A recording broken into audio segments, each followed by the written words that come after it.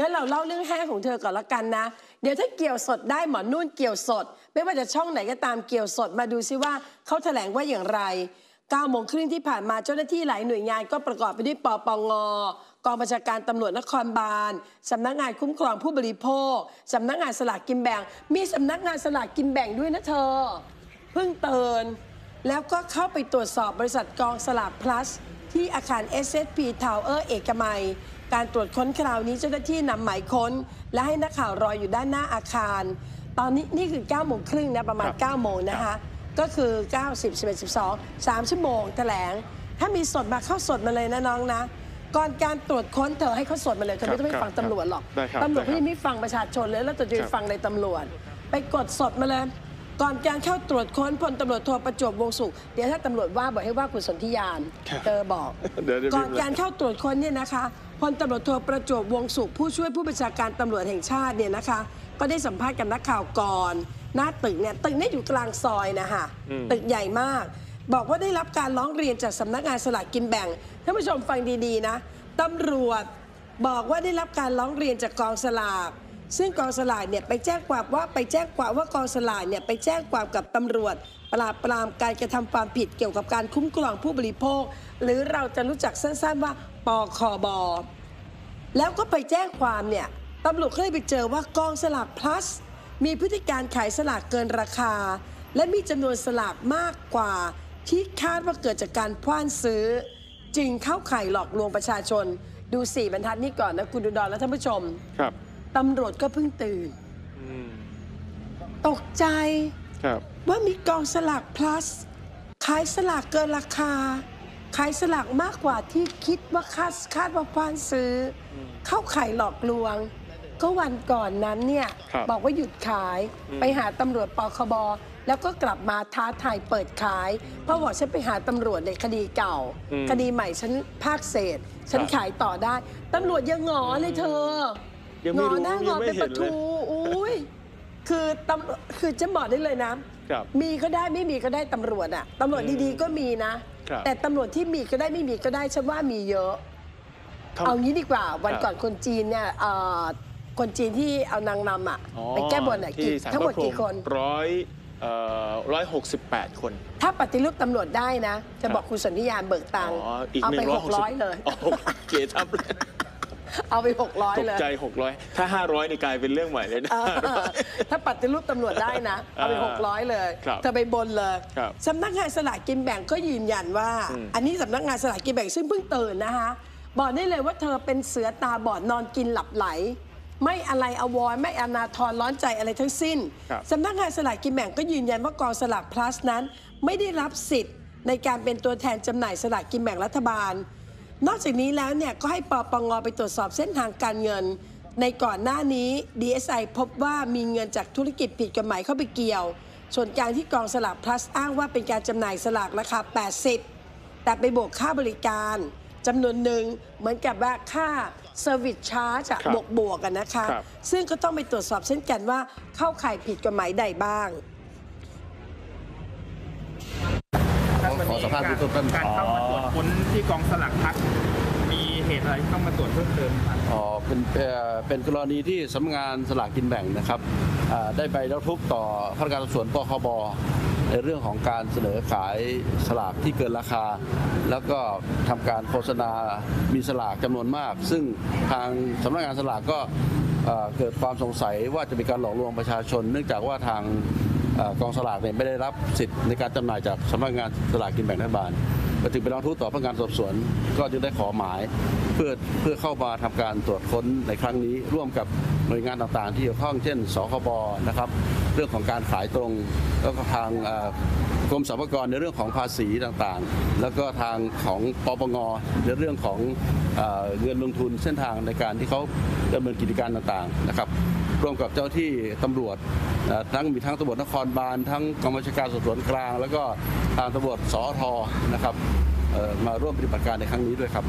เส้นทางการเงินที่ก่อนหน้านี้ทาง DSI ก็ตรวจสอบพบว่ามีเกี่ยวข้องกับพนันออนไลน์อะไรเงี้ยครับเรามีการตรวจสอบในวันนี้ด้วยไหมครับครับทางปปงก็จะได้ได้ทำการตรวจสอบไปในส่วนนี้ไปด้วยนะครับครับข้อมูลของตำรวจพบว่ามีการเกี่ยวข้องกับกลุ่มธุรกิจผิดกฎหมายในการนำเงินมาฟอกในธุรกิจนี้ไหมครับ อันนี้นี่เราอยู่ระหว่างการตรวจสอบอยู่ครับ ครับ วันนี้การตรวจสอบเราจะเน้นไปทางด้านไหนอะไรยังไงบ้างครับก็เน้นทุกด้านที่บอกมาเมื่อสักครู่เลยนะครับนะครับ อย่างกรณีที่เขาประกาศเอ่อประกาศขายของงวดนี้ไปแล้วเนี่ยจะต้องทำยังไงหรือว่ายังขายได้ต่อไหมตอนนี้ทางสำนักงานสลากได้มาร้องทุกข์ต่อพนักงานสอบสวนแล้วครับในการตรวจสอบว่าการขายเกินราคาที่ ที่กฎหมายกำหนดไว้ครับ เขาอ้างว่าเขาขาย 80 บาท แต่ว่ามีการดำเนินธุรกิจเรื่องของเพิ่มเติม 20 บาทอะไรเงี้ยมันมันผิดไหมครับท่าน ครับก็ก็ก็ไม่เป็นไรครับไม่เป็นไรครับ ก็เป็นการข้อข้อข้อกล่าวอ้างเขาแต่ว่าเอ่อผู้บริโภคประชาชนเนี่ยซื้อเกินราคาตามที่สำนักงานตลาดกำหนดอยู่แล้วนะครับแต่เป็นรูปแบบไหนก็สุดแล้วแต่นะครับ อันนี้ก็ให้สังคมพิจารณาดู ขณะเดียวกันพันโทหนุน ศันสนาคมนะคะผอสำนักงานสลากกินแบ่งก็บอกว่าสำนักงานสลากเนี่ยไปแจ้งความกับตำรวจปคบ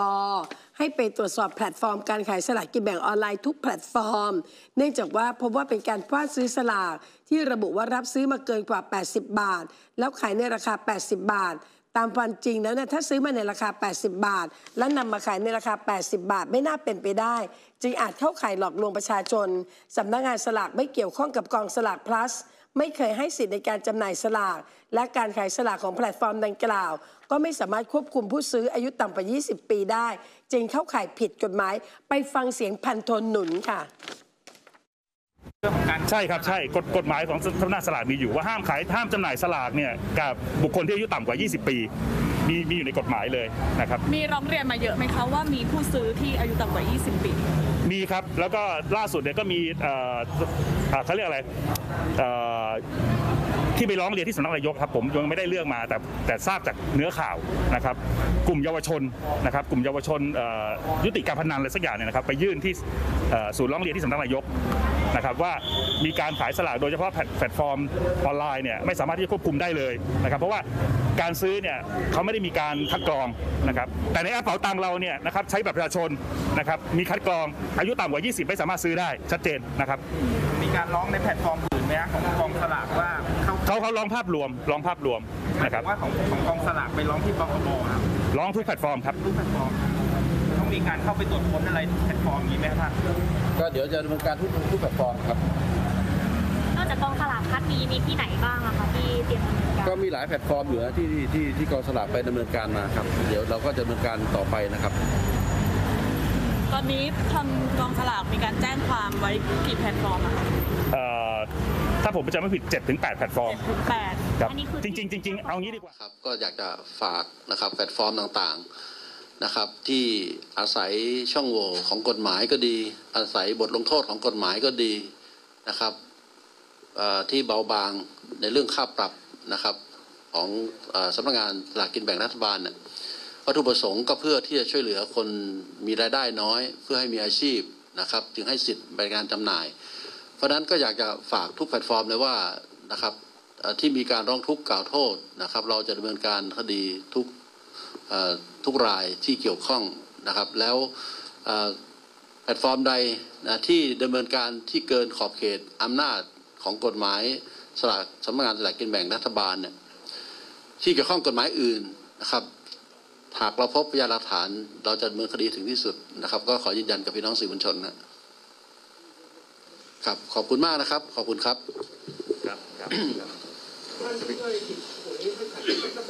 อะไรนะครับ อ๋อ ได้ได้ยิบยิบยิบยิบอันนี้เชิญเชิญเชิญครับอะ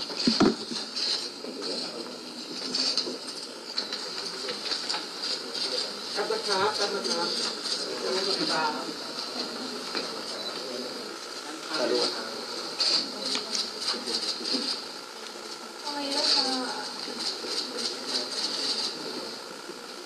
เคนะครับ ขอบคุณนะครับ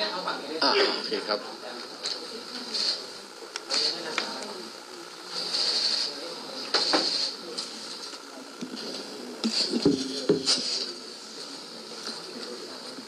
โอเคนะครับ ขอบคุณนะครับ ครับ ขอบคุณครับครับโจโจไวเลสตัวดีก็ไม่ไม่ไม่ตัวไหนวะผมผมผมให้ไปกลางมันไอ้คนนี้เหรอดีนะอาวันวัน ครับ นี่เป็นภาพบรรยากาศสดๆนะครับ หลังจากที่ทีมข่าวไปปักหลักตั้งแต่ช่วงเช้า เจ้าหน้าที่ข้างบนเนี่ยนะฮะมีสำนักงานตำรวจแห่งชาตินะครับ กองบัญชาการตำรวจนครบาล ปคบ มี DSI มีปปง แล้วก็สำนักสำนักงานสลากกินแบ่งรัฐบาล หลังจากขึ้นไปตรวจนะฮะใช้เวลาประมาณสัก 3 ชั่วโมง แล้วก็ ถลงข่าวผ่านสื่อนะครับ แต่ว่าช่วงที่อ่าแถลงข่าวเราก็พยายามจะไลฟ์สดจะเอาบรรยากาศ แต่ว่าเจ้าหน้าที่นี่ขอให้เอาลง แต่ที่สุดแล้วนี่เราก็ขึ้นให้ดูนะแต่ว่าเป็นการช่วงค่ะท้ายๆของการแถลงพอดีค่ะนะครับ 11 โมงที่ผ่านมานี่เองนะครับสันทนประยูรรัตน์นะครับ อดีตตำรวจสันติบาลนักแฉเนี่ยนะฮะอยู่ตรงข้ามกับชูวิทย์กมลวิสิทธิ์ วันนี้เดินทางไปพร้อมหลักฐานเด็ดนั่นก็คือรูปถ่ายหนึ่งรูปนะฮะเอาไปมอบให้กับอารองอธิบดีกรมสอบสวนคดีพิเศษ ก็คือพันตำรวจตรียุทธนาแพรดำนะครับ พร้อมด้วยเบาะแสความเชื่อมโยงของเครือข่าย ผู้ค้ายาเสพติด และก็ทรัพย์สินที่ได้มาจากการกระทำอ่าเรื่องของยาเสพติดเนี่ยนะฮะและกระบุเนมชื่อว่ารูปคนนี้ก็คือนายเอ็ดดี้นะฮะถ้าท่านผู้ชมจำได้รายการเราก็เคยเอามาเจาะให้ได้เห็นว่าเป็นโครงข่ายขบวนการค้ายาเสพติด และก็เครือข่ายนี้ถูกจับแล้ว ตอนนี้เอ็ดดี้กับภรรยาเนี่ยกำลังหลบหนีคดีนะครับกำลังหลบหนีคดีนะฮะเขาบอกว่าเอ็ดดี้เนี่ย รู้จักและก็สัมพันธ์กับนอทพันธ์ธวัชนาควิสุทธิ์นะครับ เพราะมีความเชื่อมโยงและอาจจะเข้าข่ายเป็นขบวนการในการร่วมกันฟอกเงิน สันธนะบอกว่าตามพยาตามพยานคดีนี้มา 7-8 ปีแล้วเป็นเครือข่ายใหญ่มากนะครับ มั่นใจในพยานหลักฐานอ้าวลองไปฟังเสียงสันธนะสักนิดหนึ่งนะฮะเชิญครับลงมาเรื่อย จนมาถึงณวันนี้ อย่างที่ใครพูดว่าไอ้นี่ วันนี้เดี๋ยวผมจะเอาภาพไม่ต้องมาเบลอกันละ ไอ้นี่คือใคร ไอ้นี่ก็คือเอ็ดดี้ไงแล้วมันมีมากกว่านั้นไงไม่ต้องมาปิดหน้าปิดตานะไอ้นี่สมัยมันหนุ่มๆสมัยแก๊งซุปเปอร์คาร์นะเข้าใจไหมนะอ่านะยกขึ้นอีกนะเออและไอ้ขายหวยมันบอกว่ามีหนังสือมอบอำนาจของนายออนี่ใคร โอไหมเอไหมเดี๋ยวผมมีหมดมันบอก ไม่เคยรู้จักมาก่อน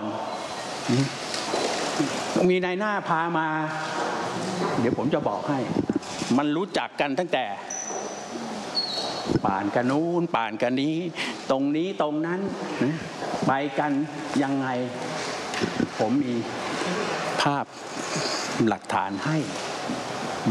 ก็ถึงบอกให้มันให้มันคุยให้ปากฉีกนะให้มันโกหกสังคมให้มันสนุกของมันไป แล้วหลังจากบ่ายสามโมงวันนี้ ท่านไม่ต้องมาสัมภาษณ์ผม ไม่ต้องถามผม ท่านถามเจ้าหน้าที่ผอศูนย์ยาเสพติด หรือกรมสอบสวนคดีพิเศษเองนะอืมครับ ครับขอบคุณครับ อันนี้ก็เป็นประเด็นแค่ โดยสรุปคุณสันทนะนะฮะเปิดชื่อเปิดหน้าของเอ็ดดี้นะครับหนึ่งในเครือข่ายยาเสพติดมีความสัมพันธ์เชื่อมโยงกับนอตพันธวัฒน์และก็นำหลักฐานมามอบให้กับทางรองอธิบดีกรมสอบสวนคดีพิเศษ ซึ่งท่านก็รับนะฮะรับเสร็จแล้วท่านบอกว่าเดี๋ยวจะไปรวบรวมพยานหลักฐานใครเกี่ยวข้องอย่างไรบ้าง หลักฐานนี้มีประโยชน์หรือไม่อย่างไร ก็เตรียมที่จะดำเนินการเอาผิดกับทุกคนที่เกี่ยวข้องฉันตั้งครับคำถามว่าทำไมตำรวจหรือผู้เกี่ยวข้องทั้งหมดทุกหน่วยงานเลยเขาไม่รู้ไม่ชี้อะไรเลยอะเขาต้องรอให้คุณชูวิทย์ คุณสันทนะครับร้อยใครต่อใครเนี่ยไปชี้เป้า ดิวอดิสลาอย่างเงี้ยแล้วพวกนี้นั่งทำอะไรกันอยู่อะเออคือมีนี่แข้อมูลแต่รณีเก็บงำเก็บงำไว้หรือเปล่าหรือยังไงนี่แม้แต่มีกรณีเรื่องจินหลิงอะครับอเขาไปจับจินหลิงแล้วอะเจอคน 200 กว่าครับเจอตู้เก็บยาเสพติดมากมายมหาศาล เฮ้ย เราเป็นเจ้าหน้าที่เราต้องตกใจแล้วอะเอ้ย ตกใจตกใจตกใจเรื่องนี้มันเรื่องใหญ่มาก มันจะไปทำมาหากินบนหลังจินหลิงได้เลยอะคิดดูดิ ครับคือสตึกขนาดไหนอะเฮ้ยคดีใหญ่เราอย่าไปยุ่งเว้ยสมมุติว่าถ้าชั่วนะครับครับเอ้ยมันต้องมันต้องฉลาดชั่วมันต้องฉลาดเอ้ยเราคดีใหญ่เราอย่าไปยุ่งเว้ยคดีแบบนี้เราต้องแบบฟอกตัวกับคดีแบบนี้ เราต้องเข้าไปคุกคีคดีแบบนี้ แล้วทำให้สังคมเห็นว่าสร้างผลงานเราคือฮีโร่อ่าใช่ เอ้าไอ้นี่จนแบบเอ้ยเอ้ยเอาเอารถเอารถออกช่เหรวยออะอะเท่าไหร่อ้จ้ยังไง เออเออเออมันคือนอกจากมันจะนอกจากจะเป็นคนชั่วแล้วมันยังโง่อะเออ